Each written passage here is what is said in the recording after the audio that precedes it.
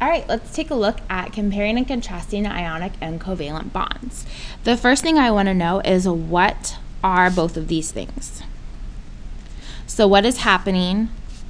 What's causing these things to interact? Well, an ionic bond will have a cation, which is a metal, and an anion, a nonmetal, that are going to take slash give electrons. So in ionic bonds, you have electrons being taken or given. The anions take in electrons, that why, that's why they're negative, and the cations give up an electron to become positive.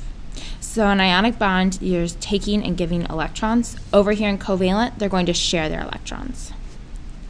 And they share because they both have high electronegativities which means that they don't want to give up electrons.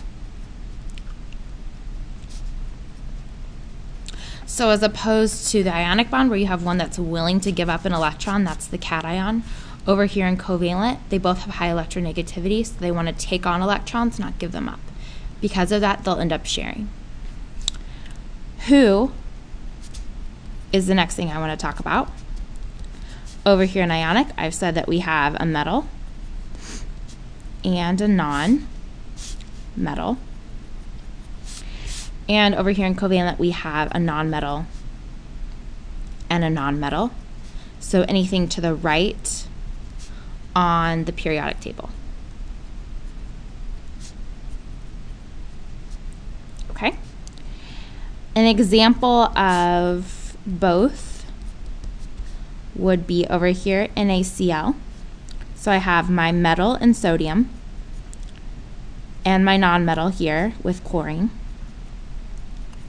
And this is sodium chloride. So please notice that there are no prefixes when I'm naming over here with ionic bonds.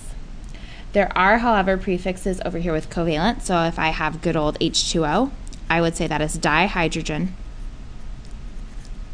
monoxide. So I do have to use my prefixes when I'm working with covalent mo um, molecules. Okay? The same is the octet rule.